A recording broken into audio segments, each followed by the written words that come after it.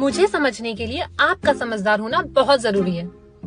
समझ गए